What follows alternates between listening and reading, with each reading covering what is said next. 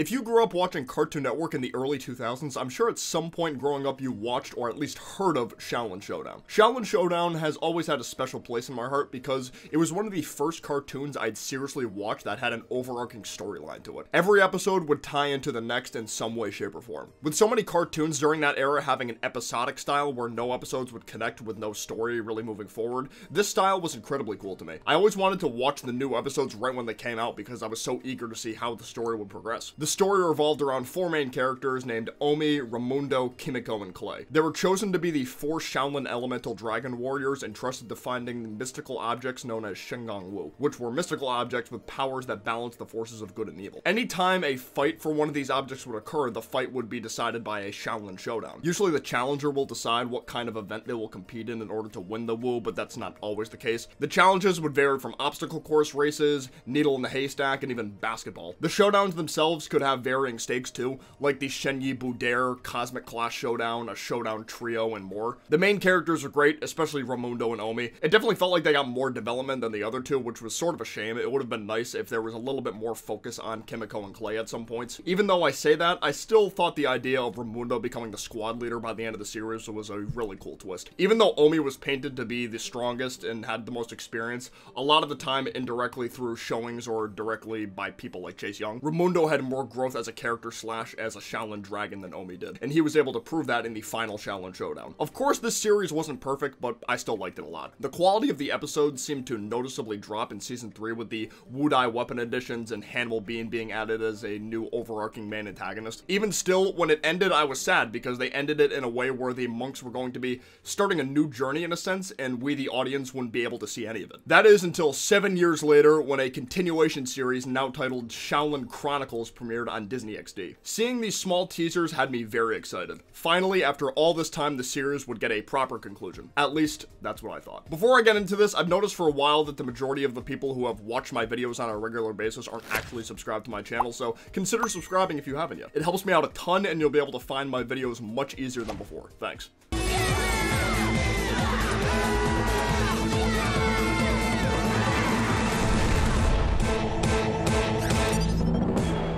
Xiaolin Chronicles turned out to be a major disappointment, not only as a standalone show, but definitely as the sequel series it was advertised to be. This show felt a lot more like a reboot of sorts rather than a sequel. For starters, Raimundo was no longer the leader of the Xiaolin Dragon team. The rest of the gang got promoted to Shoku Warrior like he did, but he no longer had a shot caller role for the team like the end of Showdown implied he had. All of that development he got was basically thrown out the window, which really sucks. Raimundo's whole character arc in the original show was one of my favorite aspects, so having Chronicles act as if it never happened really felt like a slap in the face. The entire main cast, with the exception of Omi, had completely new voice actors as well. Xiaolin Chronicles production was being managed in Canada, where it's required by law that any voice actor working for a television show must have Canadian citizenship in order to work. Tara Strong, the voice of Omi, and Jennifer Hale, the voice of Katnappé, were the only original VAs who were able to continue to work for the show. Having a lot of these voices change as drastically as they did made a lot of these characters feel like completely different characters than before, with the exception of Omi. Don't get me wrong though, I'm not trying to say any of these new voice actors are bad at their craft, they just don't sound close enough to the original voices, especially Kimiko. I love Jennifer Hale as a voice actor, she's done great work on shows like Codename Kids Next Door, The Powerpuff Girls, Totally Spies, etc., but her version of Kimiko sounds nothing like Grey Griffin's does.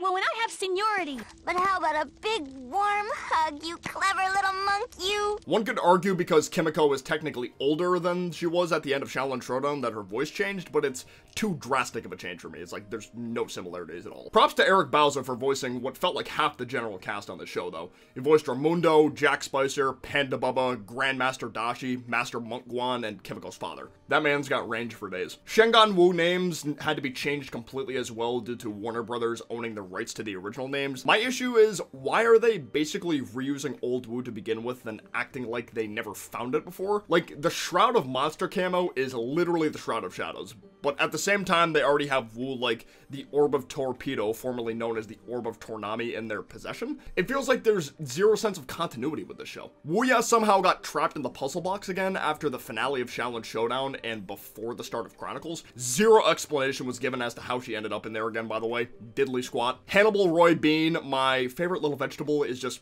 gone without a trace again with no explanation or mention in Chronicles. He actually wasn't even my favorite villain from that show or anything, but his role in season 3 was major. He was the reason Chase Young went to the Heylin side and became immortal. For one of the main overarching villains from Xiaolin Showdown to vanish like that and with no explanation is very odd. If Chase Young was able to return, why not Hannibal? The best I can do is assume he was done in during that giant clash between the Xiaolin Dragons and the villains during the last scene in Xiaolin Showdown. Of course, with this series taking place at least a couple years in the future with how much older Rai, Clay, and Kimiko look, it's understandable they'd look different physically, but no character changed more in terms of physical appearance than Dojo. Dojo went from mainly green to mainly yellow. Not sure what the purpose in that was. It felt kind of random. Correct me if I'm wrong, but in Chinese culture, green dragons represent nature while the yellow ones are associated with solidity. Yellow dragons were also associated with royalty being the most revered of the dragons. So I suppose it's possible Dojo went through some kind of evolution during the time skip, making him more revered slash powerful than he was before. It's cool to think about it like that, but since his color change was never talked about nor explained in Chronicles, meh. Chase Young felt like a completely different character in Chronicles too. When it came to all these serious villains from Xiaolin Showdown, Chase Young was without a doubt my favorite. His character felt so much more complex than the rest of the main villains. His past with Master Monk Guan, how he used to be a good guy fighting alongside Dashi before he met Hannibal Bean, the intense conversations with Omi about strength, differing ideals, at times siding with the monks to take out bigger threats like when those giant spiders attacked, showing an alternate timeline how things could have been if Chase did stay good, I loved all of it. Sadly, Chronicles decided to change him from complex to as simple as possible. In Chronicles, he just acts like the typical evil final boss who's incredibly power hungry and wants to take over the world. There wasn't any more meaning behind his character anymore other than me, Heylin, me want to destroy world. Doing things like cry over that egg in episode 19. Like, crying? Like, that felt so out of character for him. If anything, it was more like Hannibal Bean's personality in Chase Young's body. Speaking of episode 19, Chase being quote-unquote related to Omi felt like the biggest ass pull on the planet. They had been through so much in Showdown, worked together and fought against each other several times, but Omi giving him an egg was the straw that broke the camel's back to tell him they were related. His backstory on how he became evil was pretty much completely changed too. Instead of becoming tempted by the Lao Mang Lone soup to gain immortality, he just sought power that he couldn't have in the past because his older brother, who didn't exist in Showdown, was better than he was at riding dragons. What is it with Chronicles adding these random family relations that were never mentioned or hinted at in Showdown? Kimiko has a sister now who is never mentioned in Showdown, yet Jesse, Clay's sister, didn't make any type of cameo or have any mention in Chronicles. Even though Chase took the biggest hit personality-wise with the writing changes, my personal biggest gripe when it came to returning character changes was Jack Spicer. Xiaolin Showdown Jack Spicer is one of the best comedic relief villains ever written in animation. No doubt in my mind about that. There was almost never a dull moment with him in Showdown. When hunting the elusive wolf, you have to move as quiet as a cat.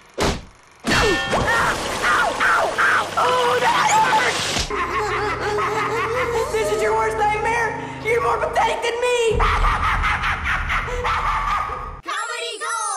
Chronicles did try to keep him as a comedic relief villain. Sadly, he just wasn't nearly as funny to me. I think I could watch a montage of every Spicer clip from Chronicles without genuinely laughing or even smirking. No disrespect to Eric Bauza, I just don't think he was able to replicate that same energy that Danny Cooksey brought to the table originally. Now for the new characters. There was a new villain introduced in Chronicles named Shadow slash Willow. She was Chase's right-hand woman created from one of his ribs. She pretended to be a girl by the name Willow to get intel on the monks for Chase. She had potential that was never fully realized in my opinion. As time went on, she tried to break away from Chase to become her own independent villain. After failed attempts to gain powers from the Lao Mang Lone soup, she eventually teamed up with Wuya instead. That team up was super short-lived though because Wuya betrayed her in the last episode and they kind of just left it at that because the second season was never made. Just Wuya and that biker gang chasing after Shadow in the sky. It felt like her character never got a proper conclusion and it never will. Also, wasn't super into how she was revealed to be working for Chase in the same episode she was introduced in. It would have been cool if there was at least some build up there if she was going to be an overarching antagonist that stayed in the story this long. It would have felt a lot more surprising if the audience only knew her as Willow for the first 10 episodes or so and then find out she was working for Chase. I feel like same episode reveals like that only work if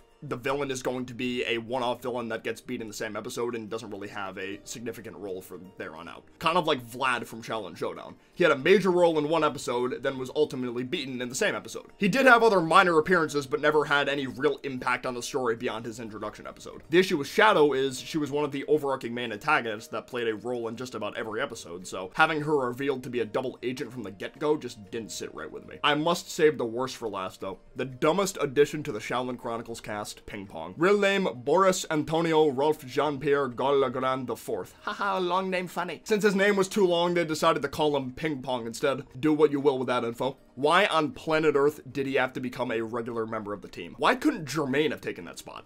Instead, they gave Omi his own mini-me. Literally a carbon copy of Omi, just slightly shorter with green glasses. Even spoke with a higher pitched voice. Me? I know who I am. I'm a dude playing a dude disguised as another dude.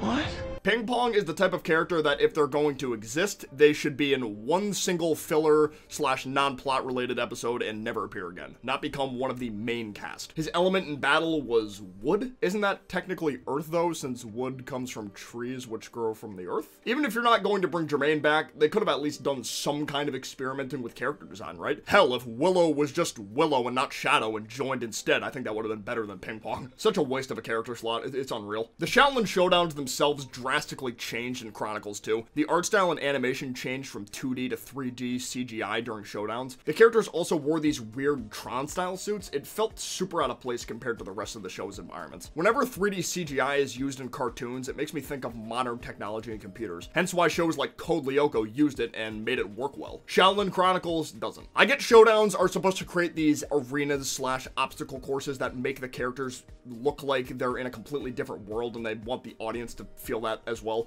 but the original Showdown already did a good job at that while staying in 2D.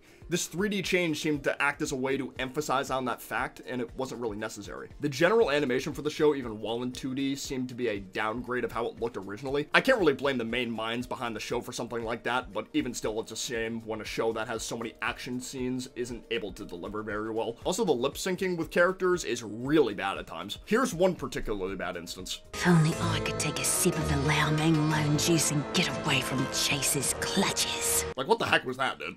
one of the few things things that they tried to do well that they didn't get a chance to in Showdown was give Kimiko some development with the whole dragon control thing. Sadly, the execution felt cruddy. Her visions of the dragon came out of nowhere with no real build-up. It's like they rushed it because they knew a second season done in the same manner as this one could never happen, which is kind of sad to think about, to be honest. Xiaolin Chronicles just didn't seem to know what kind of show it wanted to be. Is it a sequel series? A series existing in a parallel universe? Its own standalone show? The major continuity issues alongside major characters completely changing personalities slash no longer existing in the universe made it very hard to treat it as a genuine sequel series to Xiaolin Showdown. It ended up being far too lazy and too different from the original source material to be considered as such in my eyes. In all honesty, I would have rather had Xiaolin Showdown ended completely the way it did originally if I had known Chronicles was going to be that much of a disappointment. Maybe someday they'll have another chance to get it right. The future is never certain. Unless that day comes, we have to accept the Xiaolin Showdown franchise ended on an incredibly sour note. Let me know in the comments down below your thoughts about Xiaolin Chronicles if you seen it before. If there's anything you liked slash disliked about the show that I didn't mention in this video, feel free to tell me. I'd love to know your thoughts. Of course, if you enjoyed the video, be sure to leave a like down below, and another reminder to subscribe if you haven't yet. But for now, I will see you guys next time. Peace out, take care, bye-bye.